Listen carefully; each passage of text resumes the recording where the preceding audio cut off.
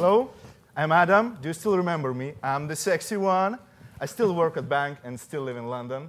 I'm on daily rush, and thanks God, I have a new bag that's used for both sides of my character. In the office, I need to have a tie, a shirt, a suit, so my bag needs to be, to be as stylish and slim.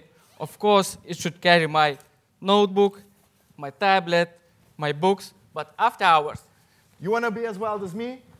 Take off your hat, your coat, and go straight to the bar.